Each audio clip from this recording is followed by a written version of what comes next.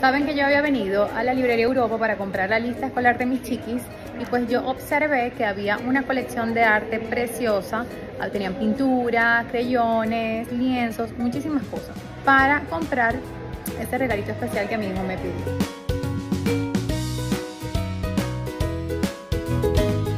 Y yo tuve que buscar ayuda porque aquí la decisión está súper difícil porque aquí hay de todo. O sea, aquí se volvieron locos con la colección de Color y hay bellezas para los chiquitos y para los adultos también. Señorita, ayúdeme. ¿Qué precios más o menos y qué trae cada kit? Plumones de 100 plumones, doble punta, en 40 dólares.